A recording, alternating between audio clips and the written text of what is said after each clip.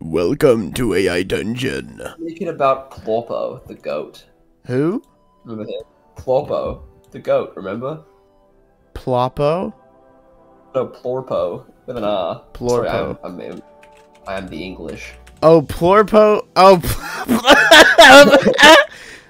yeah. Let's let's, let's make it a story about Plorpo the goat. Is he's not a goat? He is just the goat. There once was a man, a very epic man named Plorpo the goat. What is he What doing? Doing? Yeah, what is Plorpo doing? Hmm. Um, He was sitting he was sitting alone one day reading a magnificent Victoria's Secret magazine. so there once, oh, so there once lived a man, a very late epic man named Plorpo the goat. He was sitting alone one day reading a magnificent Victoria's Secret magazine. As he flipped through the pages, he came across a section devoted to the world's most beautiful women. He noticed a stunning woman with long flowing hair and piercing blue eyes staring back at him. He's oh, she's wearing a sleek black dress that hugs her curves in all the right places. Oh, okay. What is she the woman? She jumps out of the page. Okay, she jumps out of the page. All right, is that Um, it? Is that the end of this? yeah, sure, that's what it does.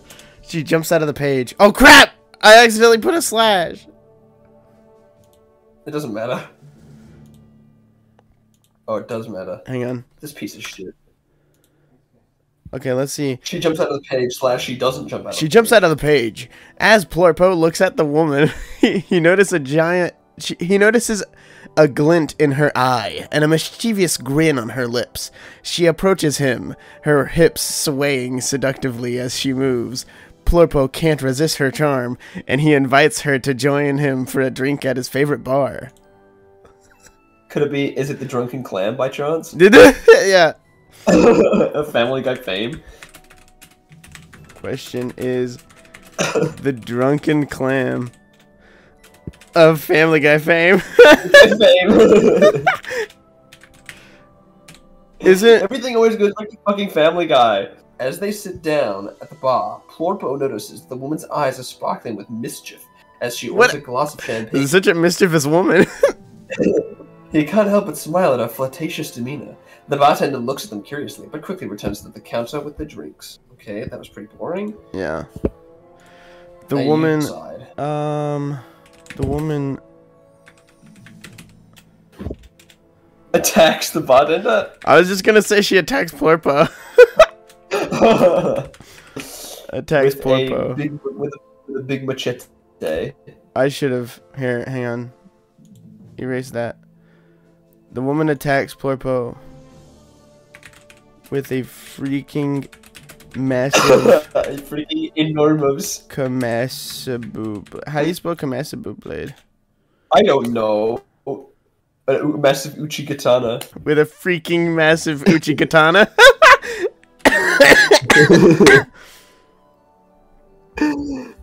I don't think it knows what an uchi katana is, but that's still funny. um. Okay. The woman attacks Plorpo with a freaking with a freaking massive Uchi katana. As the woman lunges at Plorpo with her massive Uchi katana, he quickly dodges her attack and uses his own sword to parry it. The two swords clash against each other, sparks flying as they exchange blows. The woman's movements are quick and fluid, and she's and she seems to be enjoying the thrill of the of the fight. Uh, Plorpo quickly slits the woman's throat and she dies. oh my god! no, no, no, it's a joke. Don't do that. Why? That'd be funny. No, I think it would be it would be better if the fight went out on and interesting things happened. Like I don't know, the chandelier falls, the wind Um, calls, the cries. the chandelier. That's not how you spell that. No, wait, no. Plorpo swings from the chandelier. Plurpo swings. Plurpo. Sword in mouth. Immediately. Swings from the chandelier. As Plorpo swings from the chandelier, the woman watches in awe as he brings her sword down with precision and power. The blade whistles through the air, slicing through the fabric of the woman's dress and leaving a deep gash across her skin. She howls in pain as she falls to the ground, clutching her wound. What is happening? Who is this? Who is this one? Okay, well, no, we're gonna have the we're gonna have Plurpo say, "Who are you, and why did you try to kill me?" Um, What if he what if he makes a cool pun like um um look who just got cut out of the picture. look who's splitting, look who's splitting her sides. Uh, haha. Haha, lol, lol, lol, LMFAO. Roflcopter. Lolololol. Uh, LMFAO. I just split your side. Haha. Did you get the joke? Says Ploppo out loud. Sorry, did you get the joke? you do, can see you, that slide. do you get the joke? Plurpo asks the woman. Uh, also, Also, you're gonna die. uh, who are you?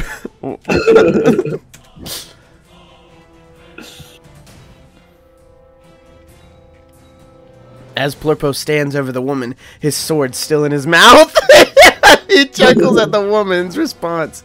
I get it. What he says that? Okay, we're trying. He's the one who said that. Um, Plurpo looks at the woman and sees the fear in her eyes. He realizes that he has hurt her and apologizes. She she, she attacked him. he realizes he realizes she didn't get the joke. he offers to pay for her medical bills and buy her a new dress. The woman thanks him and accepts his offer. Her wounds now bandaged, and her mood has shifted from a play from playful to grateful. That was playful. Her trying to murder you is playful. She was jumping around the go- room going, hee can't catch me! Then hmm. suddenly the, the bartender pulls a gun on both of them. The bartender suddenly pulls a gun on both of them and smirks. There is not enough room in this bar for the three of us. As the bartender pulls out a gun, Plorpo and the woman exchange a quick glance before quickly turning their attention back to him. Plorpo reaches for his own weapons and fires a shot, which he from a gun he now has, I guess. yeah, yeah, yeah, he's just a like he just The has a bunch of weapons on him. on D-aid. Plorpo turns to the woman and says, I just gave him a splitting headache. that's that's Plorpo's character. He's a wisecracking jokester. Freaking epic splitting headache. I was gonna say side splitting again. we just created like a really cool, just a really like obnoxiously over the top character who thinks he's really cool. Um, I just gave him a freaking epic headache, dude. What a, uh, Dumbass. what a numbskull. What a dent head. Huh? What a dent head. What a, what a stinky Flipping. idiot. what a stinky idiot.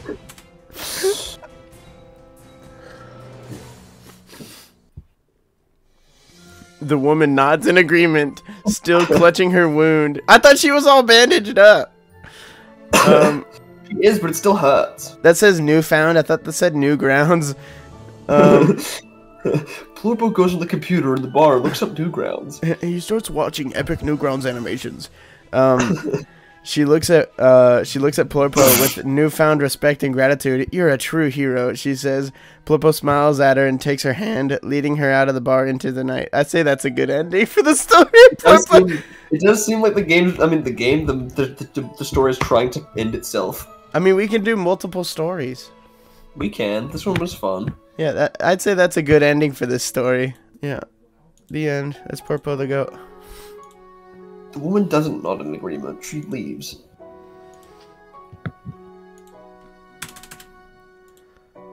I really wanted to make Plurpo say more funny wisecrack jokes. We can bring Porpo back later.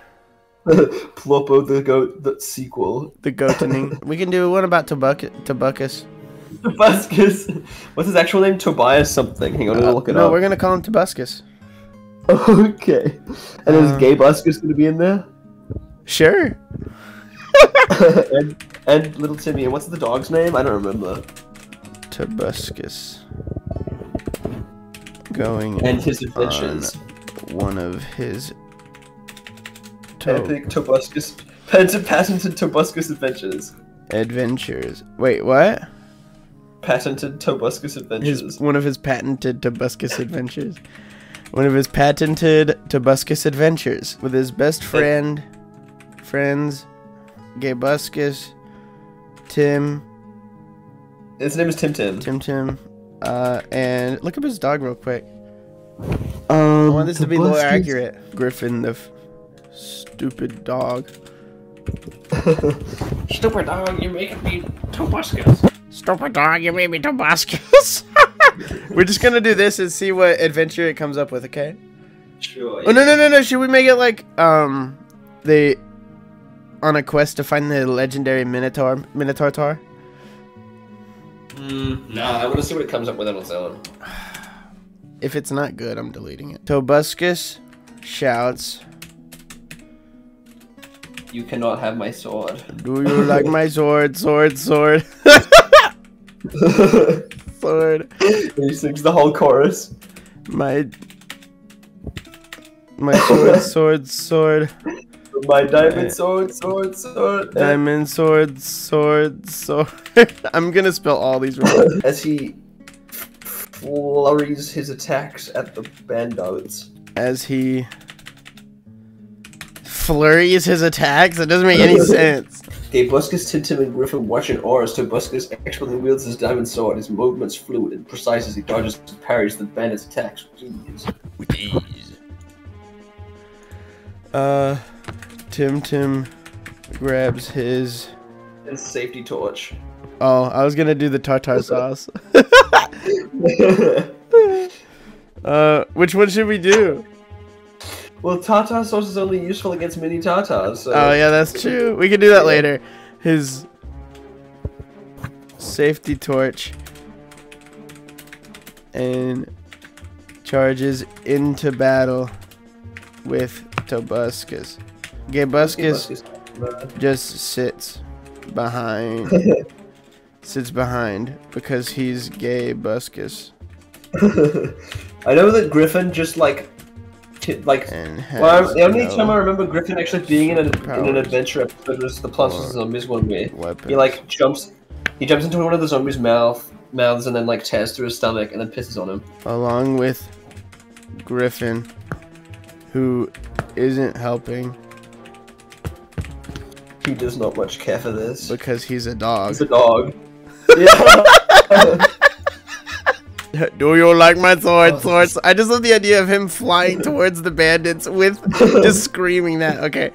As Tim Tim charges towards Tobuscus, what? He swings his I sa- just- he, no, it, it makes sense. he swings his safety torch in a wide arc, illuminating the area around the bandit leader. The leader of the bandits turns to face the source of light, but it's too late. Tobuscus is already upon them. His diamond sword, his diamond sword, flashing as he slices through the through their weapons and armor with ease. this is Haha, they must be using gold diamond. They must be using gold armor. Haha. You can't mine diamond with your hands, or it disappears. He just says Oh, that. What happens next?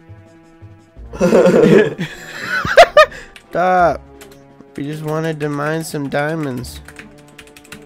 It's about time that I mine a diamond. There's just gonna be a bunch of stupid Tobuscus references. Do you think your audience actually knows anything about about It doesn't matter. Um, we just wanted to mine some diamonds, but we don't have an iron pickaxe. and Tim Tim says, Should we let the AI do it? uh, I guess, yeah. I was gonna say Tim Tim says you can't break down with your hands. Darn, I'm sorry. I didn't warn you earlier. I didn't know we were going to be attacked. As the bandits surrender, Tobuscus stands tall, his diamond sword still at the ready. The leader of the bandits bows before Tobuscus. he bows. Um, and then the the the bandit leader is like, "If you let us go, we'll tell you about the legendary treasure, which is fucking nugget and a biscuit." Okay, if you let it, if you let us go, we will share the legend of the nugget and the biscuit. The bandit leader pleads, uh, the bandit leader pleads. Uh, Tobuscus lowers his uh, diamond sword and um, says, "Shoot."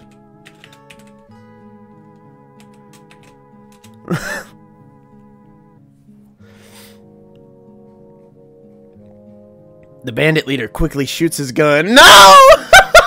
I knew it was gonna do that too. I don't know why I said shoot. Here, let's try it again. See if it figures it out. Um, To retrieve a biscuit. the bandits quickly scatter. Their their leader rushing to the back to retrieve a biscuit. Tobuscus turns to his friends and says, "Well, that wasn't that was easy. Let's go collect our reward." The group begins to make their way back to the mine, their weapons at the ready in case any more bandits try to attack them. Should we stick with this? I don't really like it. I want I don't know, because I thought that the whole point was that the legendary nugget and a biscuit. Yeah, here, we'll just write like a legend. The legendary Nugget and a Biscuit resides in the sacred land of Toronto, Canada. It will be found within the sacred, or no, Mashed potato. Within the tombs of the CN Tower. Cartoon Network. I guess. I don't know what it is. Um, but beware. For the tombs are being guarded by the horrifying Mini Minotaur. There are a lot more Tobuscus adventures than I remember. I know there's a lot of them. Um, yeah, that's good. You like this? I like this. Okay. Sure. As he speaks, the mini minotaur. Okay. Nope, that's not happening. Retry. As the bandit leader finishes speaking, the other bandits begin to mutter amongst themselves, their eyes widening with fear. Tobuscus nods solemnly. I'll take that challenge. Lead the way, bandits. I have to do his voice. Lead the way, bandit bandits. leader nods. I'll take that challenge. Lead the way, bandits. The bandit leader nods and leads the group out of the mine. I like where this is going, dude. This is fun. Okay, um, the bandits lead Tobuscus Run over to him with a car. and gang to an airport uh, where they can catch a flight to Toronto. While there, um, Tobuscus sees a uh, a super hot hot lady. um. And in a coffee shop. That's how the actual episode goes. Oh, really? Yeah, I, that's what I was thinking of. I knew exactly what I was thinking of too. I just couldn't remember where that Yeah, where and she it keeps was. going, keeps going, keeps going hot. Hot, hot, hot, hot, hot, hot, hot, hot, hot, hot, hot, hot. Yeah. um, hot, hot lady working the counter at the coffee stand. He and we're just gonna reenact the episode. Walk over. but in but in order to reenact the episode, the whole point is that Tobuscus goes incognito by turning his shirt inside out, and so then nobody knows who he is, and so he's pretending like he's really cool for, being incognito. Okay. Turns his shirt inside out in an attempt to look incognito. Well, he actually calls himself in, Incognito Buscus. and uh, and dubs himself uh, Incognito Buscus. and dubs himself in hang on i'm gonna do it in incognito buskis Well, there's a hyphen in between, but sure, that does. incognito buskis there Okay, while there, Tobuscus sees a super blah blah blah. As he approaches the hot, hot lady, she looks at him with a mix of confusion and amusement. Are you lost? She asks with a smile. You can, f- no, he can. Tobuscus can feel his face turning red as he realizes his mistake. Uh, no, I'm not lost. I'm just looking for someone. he says. No, he's not. He's looking for the fucking nugget and a biscuit. Trying to keep his composure. Um, here, let's get back on track here. The gang then arrive in Toronto. Okay. way, I don't know. As the gang approach the CN Tower, they can see the towering structure looming in the distance. The air is thick with the scent of decay and the sound of wind whistling through the wire through the wires and pipes. The group of bandits look at each other with fear in their eyes as they re- as they realize the danger that lies ahead. Toronto has been invaded by zombies. No, the gang prepares Prepare to walk across the street across the road. to- toward the CN Tower. Everybody but Tim Tim looks. both Every- ways. Everybody but Tim Tim looks both ways. Which means that everybody else doesn't get hit by a car, even though the cars all come at the same time. But Tim Tim gets it just because he didn't look both ways. to get ran over, Violently, violently ran over. by um by by three different cars simultaneously. Or I'm sorry, simultaneously. Different cars. No, not simultaneously, but back to back. In a comical scene.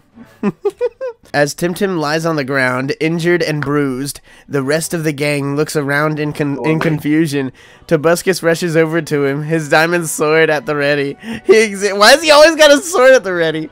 Um, he examines Tim Tim's injuries and quickly. You cannot Huh? afford for it because you cannot afford for it Yeah. for his diamond sword. He examines Tim Tim's injuries and quickly assesses the situation. We need to get him to a hospital. Um, no, here, let's edit this. Make him say, "He'll be fine. Just walk it off." Um, his voice firm and resolute. He says that. yeah, that's good. He'll be fine. Walk it off. Okay. Um, enters The mini, the mini car. CN Uh, Tower and why? spots the mini out of a Minotaur. What we, hiding behind an ant. hiding behind an ant? yeah. Is that what you said? yeah.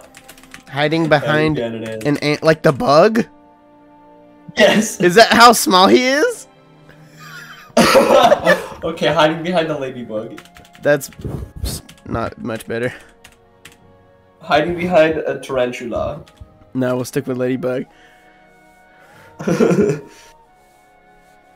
The gang enters the CN tower and spots the eyes mini wide and minotaur. I'm ready. Go!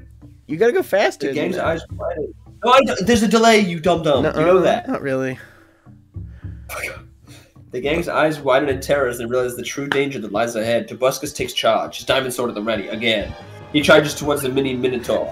His movements swift and slice through the bear's... The bear? Oh, I thought it said bear. The beast's with ease. Hmm, where have I heard this before? The armor was uh, damaged. Sure. The armor was made of paper. But the mini minotaur was impervious. Two diamond swords. Any sort of diamond sword. He flexes Damage. his muscles triumphantly. The because of this fact, the mini minotaur flexes his muscles and screams. Uh, Fuck you! no, I was just gonna do his line. I'm a tiny minotaur. Later, and he flexes his muscles triumphantly. Okay. As the mini Minotaur charges towards Tobus- Tobuscus, he swings his massive arms in an attempt to knock him off balance. Tobuscus expertly dodges the creature's attacks. His diamond swords, his diamond sword flashing in the light as he strikes back with a series of swift strikes. The strikes are super freaking swift, And but they do no damage. he screams, the, the Minotaur screams, I'll kill you any Minotaur. I'll kill you any Minotaur. I love the idea that the Minotaurs, um, everything he says just ends with Otor. Tobuscus stands his ground, his diamond sword at the ready. He looks at the mini Minotaur with a fierce intensity. His eyes locked into the beast's own. The mini Minotaur charges forward once again, his massive arms reaching towards Tobuscus. Okay, I mean, yeah, but like nothing Yeah. happened. Okay, well, we're gonna start killing him now. With the Okay. thought that's off. Tim It's his time Tim. to die. Tim Tim. Tim Tim, um, realizing this is futile, grabs his trusty jar of tartar sauce.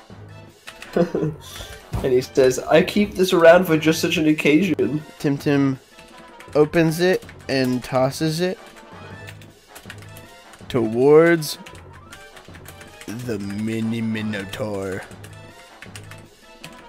mouth. The mini minotaur, um, being deathly allergic to tartar sauce. And he screams, My one weakness. My only weakness. As the mini Minotaur's uh, tar begins to swell up, the gang members can see the beast's skin begin to bubble and blister. The mini Minotaur tar's eyes widen in pain and confusion as the tar tar sauce seeps into its skin. It lets out a deafening roar, causing the gang to jump in fear. Uh, here he'll scream, Tartar sauce, my only weakness. only weakness! I love that video. I know it like half uh, by heart. I think, even though Tobuscus is not a good person, I do think he's funny. My only weakness. It wails Yeah. out in pain. Um, As it goes kablooey. as it go as it goes kerplooey. As the mini minotaur goes kerplooey.